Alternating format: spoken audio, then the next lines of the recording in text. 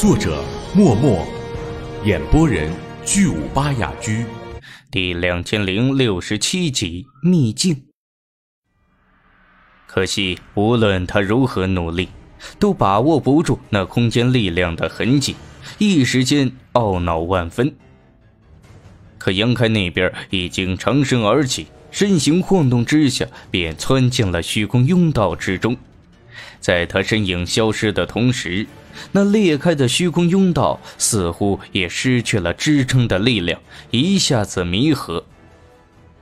叶恨父女二人都面色忧虑，不知道杨开此行是否能够顺利，又或者是迷失在虚空裂缝之中，永远找不到归路。甬道内，杨开信步前行，四周的虚空乱流冲击而来。却被他身上一股神奇的力量牵引到一旁，根本不能伤他分毫。对空间力量的掌握，应该早已不是当日的无暇阿蒙。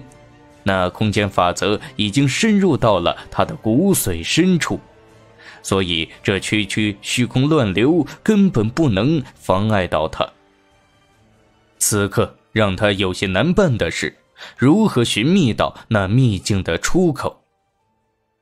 虽说有两座阵基彼此相连，但在秘境中的那一座似乎早已损坏无数年。杨开也只能模糊地把握住那边传来的链接，并不能完全肯定。他在这虚空甬道之中，也只能顺着那微弱的联系传来的方向迅速前行。好在随着时间的流逝，那微妙的联系越发显得清晰，让杨开确定自己的方向并没有出错。也不知道过了多久，杨开忽然在某一处停了下来，神念放出感知片刻，自语道：“应该就是这里了。”说话间，他再次动用空间之力，徐徐探出双手。朝那前方紊乱的虚空乱流插去，双手所过之处，一层层涟漪荡过，那乱流如骤起的指针一般被抚平。而随着杨开双手的撑开，一丝光明忽然从前方乍现。杨开的眉头一扬，知道自己感应的没错，愈发加大了力道。少卿。甬道之中再次被杨开撕开一道裂缝，从那裂缝内部，杨开隐约看到了一些与众不同的景色，心中一喜，不再迟疑，直接从那裂缝窜出。微微失重的感觉传来，杨开很快稳住身形。待他视野恢复之后，他便发现自己已经来到了另一片天地。此地灵气竟是浓郁至极，丝毫不比自己的小玄界差。那郁结在一处的灵气，竟然还有雾化的迹象，让人瞧得叹为观止。灵气浓郁，此地的植被生长的也极为良好，草丛茂密。而他所立之地，正好有一座镇基平台。这镇基平台与杨开先前在千叶宗那幻阵山谷中看到的一模一样，显然都是出自同一人之手，是与那一座镇基平台彼此连接的另外一部分。不过，大概是因为很多年没有被使用过的原因，这镇基平台上长满了青草，让这镇基显得有些破坏不堪。看到这个镇基平台，杨开就知道自己没找错地方，这里应该就是千叶宗的秘境，也是千叶宗当年兴盛的根基，同样也是千叶宗衰弱的原因。杨开伸手一扶，灼热的力量弥漫出来，一下子就将那些青草焚烧成灰，露出了完整的平台来。他神念扫过。想知道这镇基平台出了什么问题，竟导致两地无法连接。很快他就有所发现，不禁轻咦了一声。事情虽然跟他预料的差不多，但却有些出入。这边的阵基平台确实出了问题，但并非是自然的问题，而是人为造成的。杨开发现，这阵基平台上钻刻的图案有一道剑痕贯穿了整个平台，正是这几幅图案的破坏，才导致了这阵基平台出现了缺陷，无法再使用。怎么会这样？杨开不免有些疑神疑鬼起来。据叶清寒当日所说，千叶宗之所以逐渐没落下去，就是因为这秘境入口忽然关闭。若只是如此的话，千叶宗倒也不至于没落的这么彻底。关键是在秘境入口关闭的时候，当时的千叶宗宗主还在这秘境之中。那一代的宗主将宗内大多数功法和秘术带了进来，导致千叶宗传承断裂，所以才逐渐衰弱下去。到了如今，千叶宗甚至连那些地级傀儡都无法再驱使了，只能任由他们在那主殿前方的广场上风吹日晒。他本以为这一切都只是机缘巧合而已。也唏嘘过那一代千叶宗宗主的气运不济，偏偏在他进入秘境的时候，入口关闭了。却不想事情的真相跟他猜测的有很大出入。这边的阵基平台被人为的破坏了，从那一道剑痕的力道和圆润程度来看，破坏这阵基的人当时无疑很清醒。他没有大肆破坏，只是在阵基平台上砍了一道裂缝，让两地的阵基失去联系。结合叶清寒所言，这一切无疑就是当时的千叶宗宗主砍出来的。他并非是因为阵基忽然损坏而被困在这里，而是主观意识上的要留在这里，为了不被人打扰。他甚至不惜损坏了这跨界的空间法阵。他带着千叶宗的诸多功法和秘术留在这里做什么呢？难道是要参悟什么秘术，不想被人干扰？杨开一脸的茫然之色。若是如此的话，倒也说得通。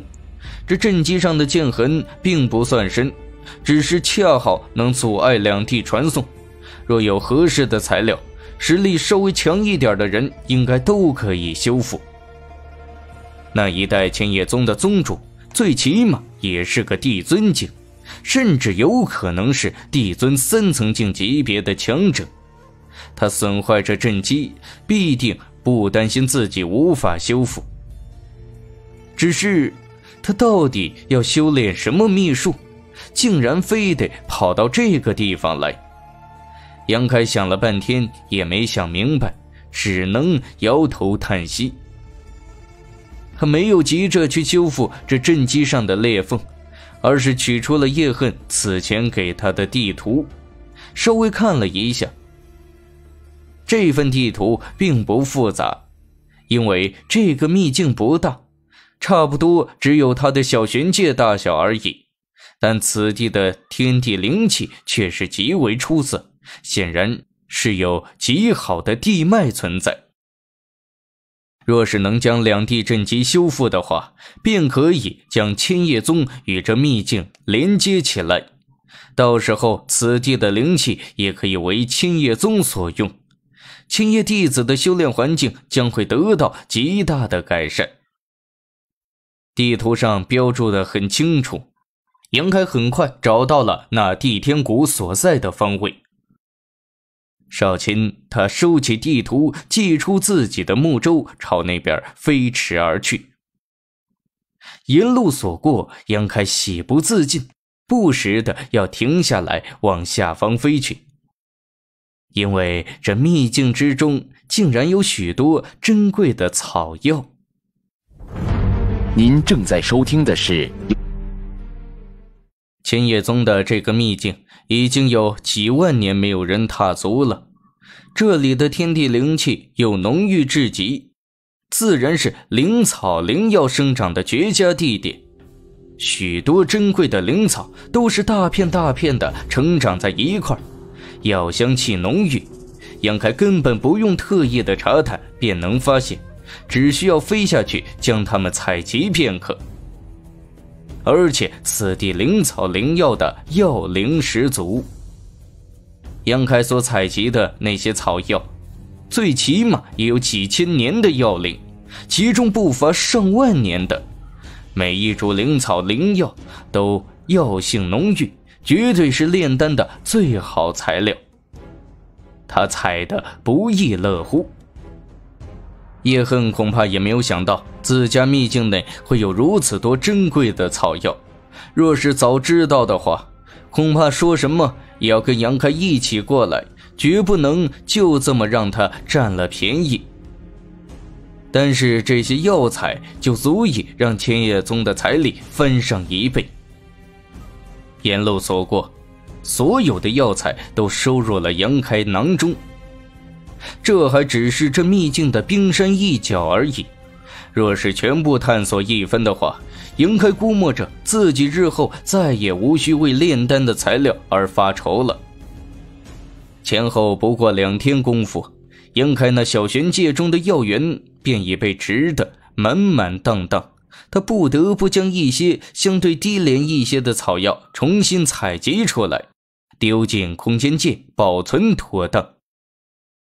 千叶宗坐拥宝山，却不得其门而入。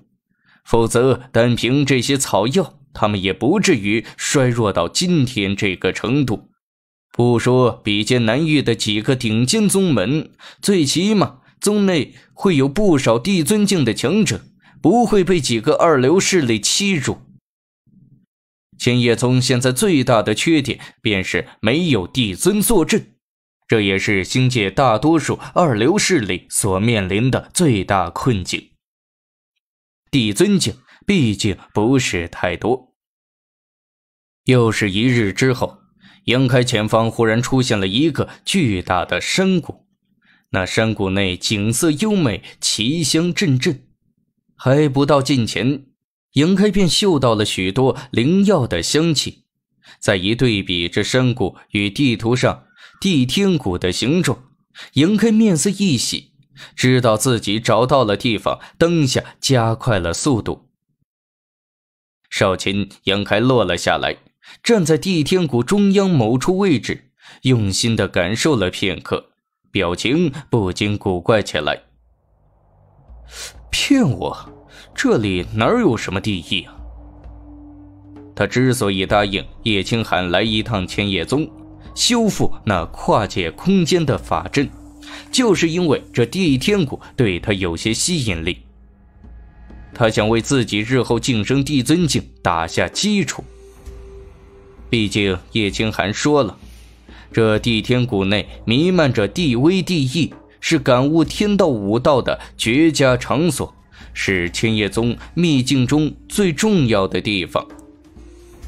杨开本来还打算在这里闭关一阵子，好好的感悟一番。可真到了这地方，他才发现，这里啊，除了浓郁的药香之气，根本没有半点地意。眼前这地天谷根本名不副实，对杨开没有半点作用。叶清寒不可能欺骗他的，这一点杨开有自信。自认识叶清寒以来，他对自己的态度都是小心翼翼、恭敬有加。怎么可能在这种事情上欺骗自己？那唯一的解释就是，地天谷本来确实是有地义的，只是不知道什么原因消失不见了。几万年前的时间过去，沧海变幻桑田，什么事情都有可能发生。杨开站在原地懊恼了一阵子。不过一想起自己采集了那么多灵草灵药，倒也不算毫无收获，反而收获不小，也就不再那么纠结了。这山谷内奇香弥漫，显然也是有不少灵草灵药的。既然已经到了这地方，杨开也不打算放过，当下便在山谷内寻觅起来。不多时，杨开便收获巨大。当他从一株半人高的果树上采集下一枚殷红的果实之后，正想着要塞进空间界，忽然像是有所发现，神念放出，在这果子上查探起来。片刻后，他不禁轻疑起来。这果子他认得，是道元级上品灵果朱雀果，炼制敌脉丹的主要材料。服用之后，可以助武者洗涤经脉，让修为变得更加精纯。若仅仅只是这样，也就罢了。关键是杨开从这朱雀果中察觉到了一丝清晰的规则之力。道元级灵果，即便档次再高，也不可能孕育出规则之力的东西来，这让他震惊非常。再仔细感知了片刻，杨开发现这孕育在朱雀果中的规则之力已然成型，隐隐有地意的感觉。杨开忽然眉头一扬，眸子发亮，低呼道：“难不成？”他似乎是想到了什么，连忙从自己的空间界里将之前采集到的灵草灵药取了出来，仔细查探。一炷香后，杨开露出恍然之色，知道这到底是怎么一回事了。这地天谷在很久之前确实存在浓郁的地意，可以让武者在其中感悟修炼，为晋升帝尊境打下基础。可是这些地意却在这几万年来被此地生长的灵草灵药吸收殆尽。如今那些地意全都与灵草灵药融合到了一块再也不分彼此。他在这山谷之中采集到的灵草灵药，几乎全都如那朱雀果一样，蕴藏了地意。